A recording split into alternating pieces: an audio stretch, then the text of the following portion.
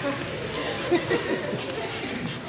many of you know, one of my great passions in life is the Latin language.